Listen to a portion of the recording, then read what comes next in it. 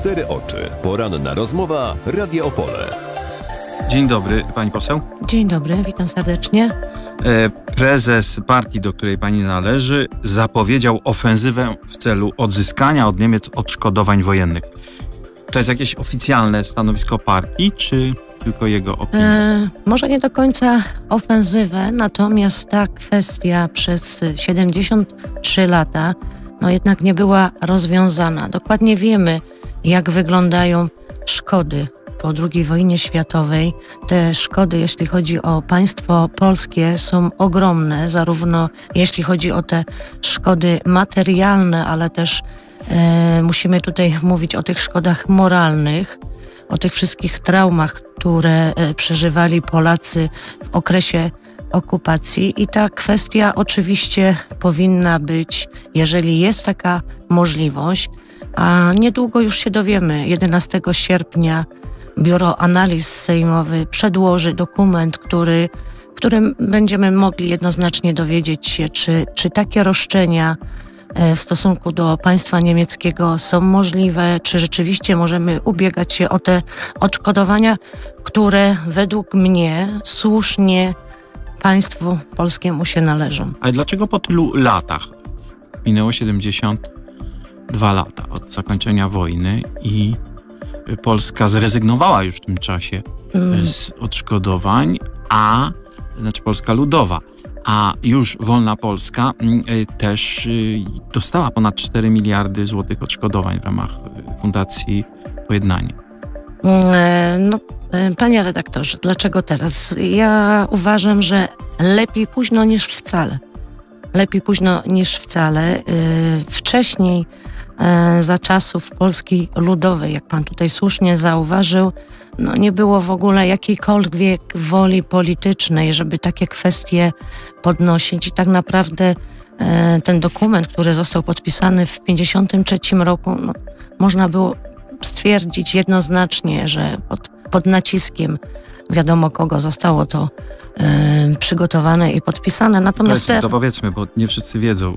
Związku Radzieckiego. Dokładnie, dokładnie. I y, teraz no, zmieniła się y, opcja polityczna w Polsce.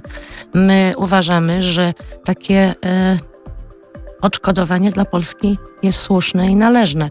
Ja pragnę podkreślić, że nie tak dawno Francja otrzymała E, odszkodowania za szkody poniesione w I wojnie światowej. Czyli ponad 100 lat temu. Ponad 100 lat temu. Natomiast jeśli chodzi o, o państwo greckie, również e, ubiega się o odszkodowania, także jeśli chodzi o Ale tą... nieskutecznie. Wystąpili, ale nic nie dostali. E. Dwa czy trzy lata temu. No. Pani poseł, ale tego nie było w programie PiS. To zna... Co mam na myśli? Mam na myśli to, że y, jest wielu Polaków, którzy sądzą, że to wprowadzi zgrzyty między, nasze, y, między nami i naszym zachodnim sąsiadem, że to doprowadzi do y, pogorszenia stosunków dyplomatycznych, że, że będziemy mieli wroga za zachodnią granicą. No. Albo przynajmniej nieprzychylnie nastawionego sąsiada. No ja powiem Odwrotnie. Nie sądzę, żeby tak było, bo jednak e, patrząc na historię, patrząc na to, co działo się od 39 do 45 roku, e, jakie życie przygotowa przygotowało państwo niemieckie, faszyści, na naziści, ale jakby nie było, to są Niemcy. E, no, to Niemcy też powinni uderzyć się w pierś i, i dostrzec to, co, co dokonali, te szkody wszystkie, które były popełnione przez niemieckich generałów, przez Niemców, a mam tutaj też na myśli te wszystkie skradzione dobra, które do tej pory nie powróciły do państwa e, polskiego. Tu nie chodzi o to, żeby spowodować jakieś niepotrzebne napięcie, konflikty między państwem polskim a niemieckim. Tu chodzi o czystą sprawiedliwość. Ale są też takie głosy, y, które um, że jest to bardzo y, taktyczny i bardzo sprytny zabieg prezesa Kaczyńskiego, który w ten sposób daje Niemcom do zrozumienia, żeby zbytnio y, nie wtrącały się w nasze wewnętrzne sprawy, żeby zbytnio za pośrednictwem Brukseli nie krytykowały pewnych e, polskich rozwiązań od sądów po sprawę Kornika w Puszczy Białowieskiej na przykład. Czy Pani zakłada też, że jest to po prostu sprytna gra dyplomatyczna. Panie redaktorze, takich spekulacji. Taki.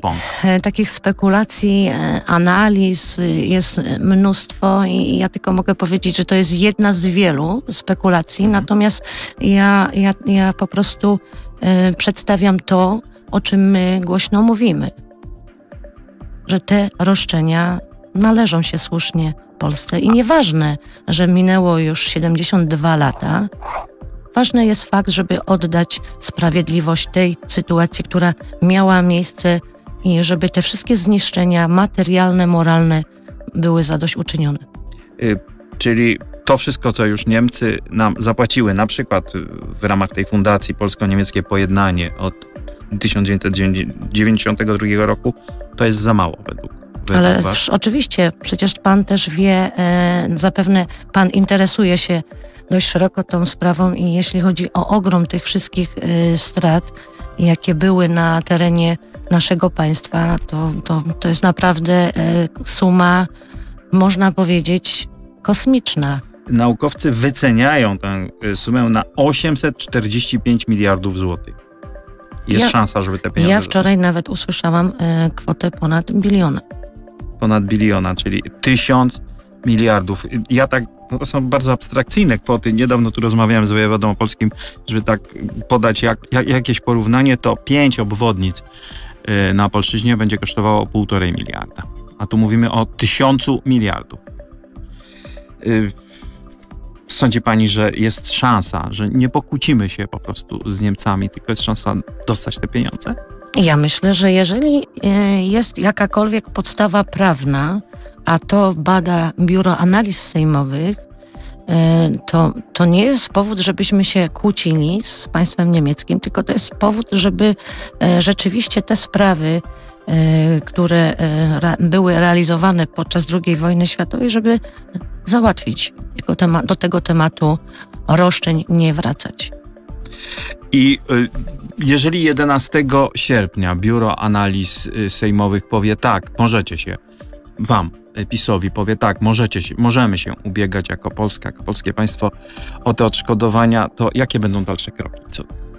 No, myślę, apel, czy to będzie... Myślę, że y, jeżeli rzeczywiście będą podstawy prawne ubiegania się o takie roszczenia, no to będą podejmowane kroki zgodnie z tym, co zasugeruje Biuro Analiz Sejmowych.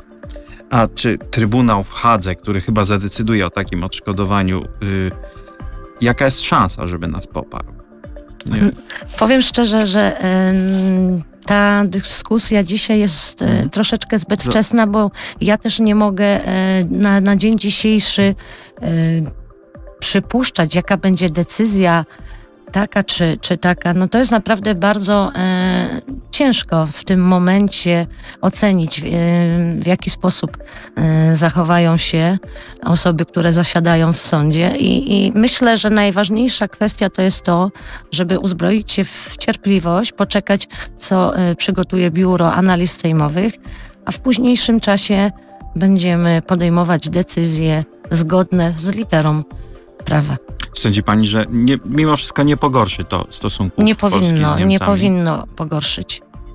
Ja myślę, że e, państwo niemieckie dokładnie zna historię, dokładnie wie, co wydarzyło się w tym okresie międzywojennym, jakich szkód dokonali hitlerowcy. I, i, I myślę, że w takim momencie, kiedy e, rzeczywiście prawo będzie mówiło, że tak, jak najbardziej państwu polskiemu należą się takie roszczenia, że być może będą umieli przełknąć troszeczkę tej goryczy i, i jednak z podniesionym czołem zrekompensować nam te wszystkie szkody, które doznaliśmy w czasie II wojny światowej. A co my zrobimy z tymi pieniędzmi? Myślę, że jeżeli rzeczywiście uda nam się uzyskać te te odszkodowanie, no, tych potrzeb tak naprawdę jest mnóstwo. Ale to jeszcze nie ten moment, żeby na ten temat nie dyskutować. skóry na niedźwiedziu. E, tak, Dziękuję dokładnie. pani bardzo. Moim gościem była pani e, Katarzyna e, Czochara, posłanka Prawa i Sprawiedliwości. Miłego weekendu. Dziękuję serdecznie. Życzę również miłego weekendu.